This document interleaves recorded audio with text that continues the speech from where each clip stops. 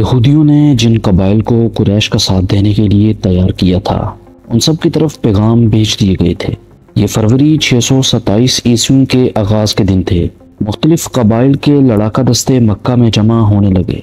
उन कबाइल में सबसे ज़्यादा फौज गतफान की थी। उसकी तादाद तीन हज़ार थी।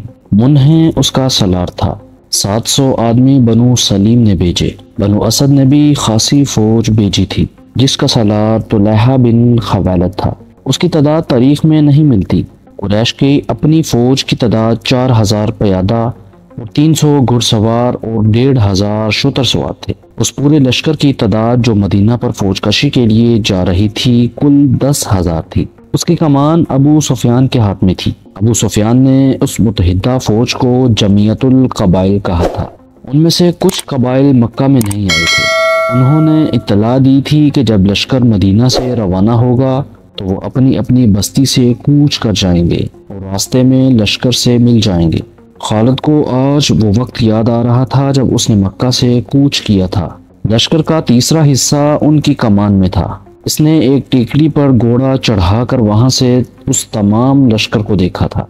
उसे लश्कर के दोनों सिरे नज़र नहीं आ रहे थे। दफ, नफरियाँ, शहनाइयाँ और लश्कर की मुतरन्नम आवाज़ जो एक ही आवाज़ लगती थी खालद के खून को गरमा रही थी। इसने गर्दन तान कर अपने आप से कहा था कि मुसलमान पिस कर रह जाएँगे।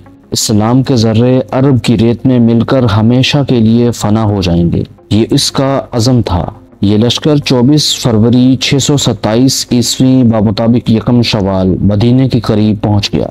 कुरैश ने अपना पड़ाव उस जगह डाला जहाँ उहद की लड़ाई के लिए खमजन हुए थे। वहाँ दो नदियाँ आकर मिलती थीं।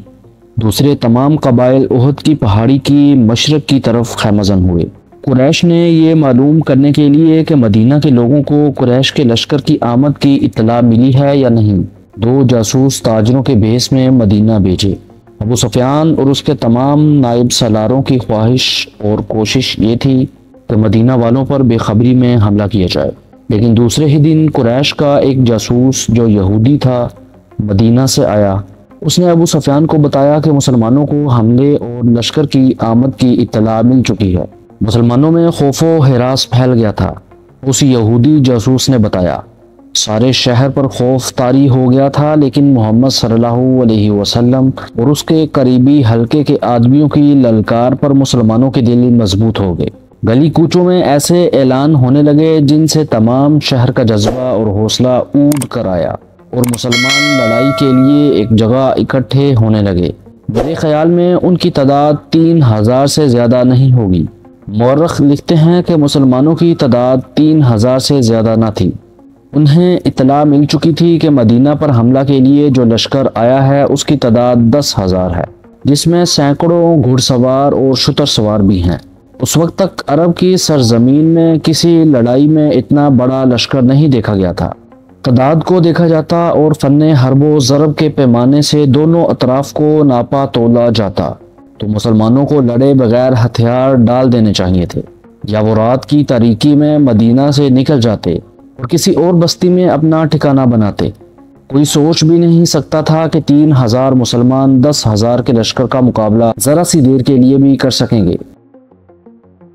दस हज़ार का लश्कर नहायत आसानी से मदीना की ईंट से ईंट बचा सकता था। लेकिन यह हक और बातल की टक्कर थी। ये अल्लाह के आगे सजदा करने वालों और प्रस्तों का तसादम था। खुदा को हक का साथ देना था। खुदा को अपने उस अजीम पैगाम की लाज रखनी थी जो उसकी ज़ात बारी ने गार हीरा में अरब के सपूत को दिया था और उसे रसालत अता की थी। खुदा उनका साथ देता है जिनके दिलों में हक और सिद्क होता है। ये नबी करीम सल्लल्लाहु अलैहि वसल्लम की ललकार थी। जो मदीना के गली कूचों में सुनाई दे रही थी। ए अल्लाह की इबादत करने वालों, खुदा तुम्हारा साथ उसी सूरत में देगा जब तुम दिलों से खौफो हिरास निकाल कर एक दूसरे का साथ दोगे और अपनी जाने अल्लाह की राह में कुर्बान कर देने का अज़म करोगे। जो हमारे अल्लाह को नहीं मानता और हमारे दीन को नहीं मानता, वो हमारा दुश्मन है और उसका कत्ल हम पर फ़र्ज़ है। याद रखो, कत्ल करने के लिए कत्ल होना भी पड़ता है। ईमान से बढ़कर और कोई ताकत नहीं जो तुम्हें दुश्मन से बचा सकेगी। तुम्हें दिफा मदीना का नहीं, अपने अकीदे का करना है। अगर इस अज़म से आगे बढ़ोगे तो दस हज़ार पर गालब आ जाओगे। खुदा सोए हुए या खौफजदा इंसान को मोजे नहीं दिखाया करता। अपने अकीदे और अपनी बस्ती के दिफा का मुआजा तुम्हें खुद दिखाना है। नबी करीम सल्लल्लाहु वसल्लम ने मदीना वालों का हौसला इस कदर मज़बूत कर दिया था कि वो इससे बड़े लश्कर के मुकाबले के लिए भी तैयार हो गए। लेकिन रसूल खुदा सल्लल्लाहु अलैहि वसल्लम इस सोच में डूब गए थे कि इतने बड़े लश्कर से मदीना को बचाना किस तरह मुमकिन हो सकता है। आप सल्लल्लाहु अलैहि वसल्लम को ये तो पूरा यकीन था कि खुदा हक परस्तों के साथ है, लेकिन हक परस्तों को खुद भी कुछ करके दिखाना था। बचाव की कोई सूरत नज़र नहीं आ रही थी। खुदा ने अपने नाम लेवाओं की मदद का इंतज़ाम कर रखा था। वो एक इंसान था जिसने उम्र के आखिरी हिस्से में इस्लाम कबूल किया था। उस इंसान का नाम सुलेमान फारसी रज़ी अल्लाह तहो था। सुलेमान फारसी रज़ी अल्लाह आतश परस्तों के मजहबी पेशवा थे, लेकिन वो शब रोज़ हक की तलाश में सरकर्दा रहते थे। वो आग को पूछते तो थे, लेकिन आग की तपिश और चमक में उन्हें वो राज नज़र नहीं आता था, जिसे वो पाने के लिए बेताब रहते थे। अकल और दानिश में उनकी टक्कर का कोई नहीं था। आतश परस्त इन्हें भी उसी तरह पूछते थे जिस तरह आग को जब सलमान फासी रज़ी अल्लाह की उम्र बढ़ापे की दहलीज फैलांग कर खासी आगे निकल गई तो उनके कानों में अरब की सरजमीन की एक अनोखी आवाज़ पड़ी। खुदा एक है, मोहम्मद सल्लल्लाहु वसल्लम उसका रसूल है। ये आवाज़ सुलेमान फारसी रज़ी अल्लाह तहों के कान में घर बैठे नहीं पड़ी थी। उनकी उम्र इल्म की तलाश में सफ़र करते गुजर रही थी। वो ताजरों के काफिले के साथ शाम में आए थे। जहाँ कुरैश के ताजरों के काफिले और कुछ मुसलमान ताजर भी जाया करते थे। कुरैश के ताजरों ने सुलेमान फारसी रज़ी अल्लाह को तंजिया और मजाहिया अंदाज में बताया कि उनके कबीले के एक आदमी का दिमाग चल गया है और उसने नबूत का दावा किया है। एक दो मुसलमानों ने अकीदत मंदी से सुलेमान फारसी को नबी करीम सल्लल्लाहु अलैहि वसल्लम का अकीदा और आप सल्लल्लाहु अलैहि वसल्लम की तालीमत सुनाई सुलेमान फारसी रज़ी अल्लाह तहो ये सब सुनकर चौंक पड़े। उन्होंने उन मुसलमानों से कुछ और बातें पूछी। इन्हें जो मालूम था, वो उन्होंने बताया। लेकिन सुलेमान फारसी रज़ी अल्लाह तिश्नगी महसूस कर रहे थे। वो इतना मुतासर ज़रूर हो गए थे कि उन्होंने नबी करीम वसल्लम तक पहुँचने का फैसला कर लिया।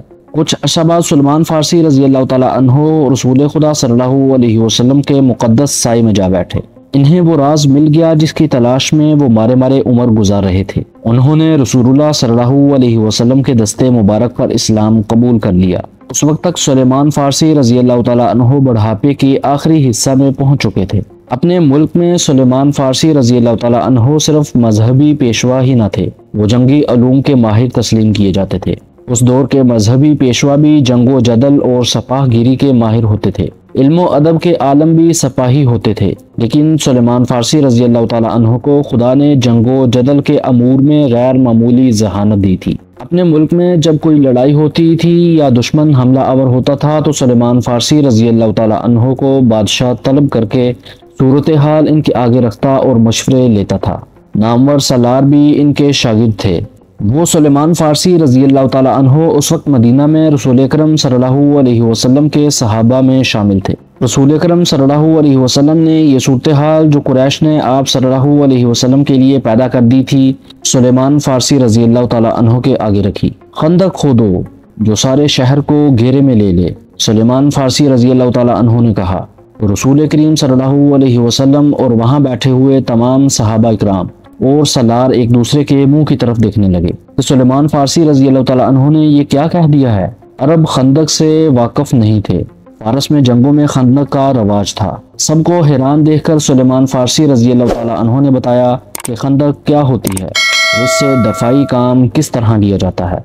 रसूल करीम सल्लल्लाहु अलैहि वसल्लम ने जो खुद तारीख के नामवर सलार थे, खंदक की ज़रूरत और अफादियत को समझ लिया।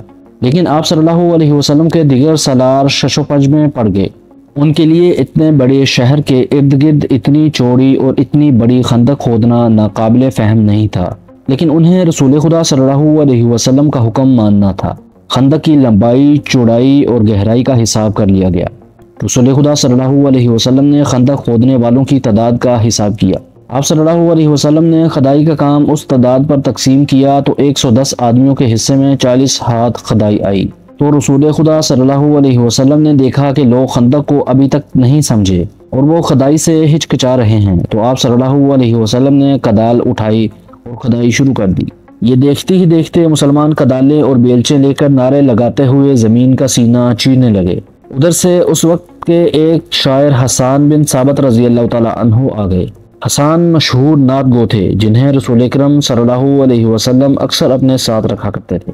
उस मौका पर जब मुसलमान खंदक खोद रहे थे, हसान रज़ी तु ने ऐसे अशार तरन्नम से सुनाने शुरू कर दिए कि खंदक खोदने वालों पर वजद और जनून की कैफियत तारी हो गई। खंदक की लंबाई चंद गज न थी, उसे मीलों दूर तक जाना था। शेखैन की पहाड़ी से लेकर जबल बिन उबैद तक ये खंदक खोदनी थी। ज़मीन नरम भी थी और संगलाख भी थी। और ये नहायत तेज़ी से मुकम्मल करनी थी, क्योंकि दुश्मन सर पर आन बैठा था। कुरैश का लश्कर उस अजीब गरीब तरीका दफ़ा से बेखबर ओहद की पहाड़ी की दूसरी तरफ़ खैमजन था। उसके पीछे यहूदियों का हाथ था। चलते चलते खालद को अपनी आवाज़ सुनाई देने लगी। अहले कुरैश तो ठंडे पड़ गए थे। उन पर मुसलमानों की धाक बैठ गई थी। घोड़ा अपनी मर्ज़ी की चाल चला जा रहा था। मदीना अभी दूर था। खालद को झीम सी महसूस हुई। उसके कबीले कुरैश ने इसे शर्मसार कर दिया था।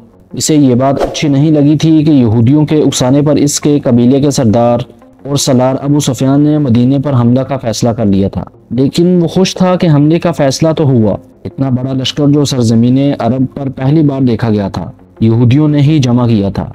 लेकिन खालद उस पर भी मुतमिन था कि किसी ने भी ये काम किया हो। लश्कर तो जमा हो गया था। उस रोज़ बहुत खुश था कि इतने बड़े लश्कर को देखकर ही मुसलमान मदीने से भाग जाएँगे। अगर मुकाबले पर जम भी गए तो घड़ी दो घड़ी में इनका सफाया हो जाएगा। वो उस वक्त तो बहुत ही खुश था, जब ओहद की पहाड़ी की दूसरी तरफ़ ये सारा लश्कर खामजन था। जिस सुबह हमला करना था, उस रात इस पर ऐसी हेजानी कैफियत तारी थी कि वो अच्छी तरह सो भी न सका। उसे हर तरफ़ मुसलमानों की लाशें बिखरी हुई नज़र आ रही थी।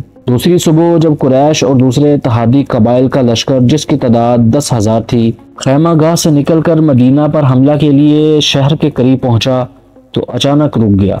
शहर के सामने एक बड़ी गहरी खंदक खुदी हुई थी। अबू सफियान, जो लश्कर के कल्ब में था, लश्कर को रुका हुआ देखकर घोड़ा सर पर दौड़ाता आगे आ गया।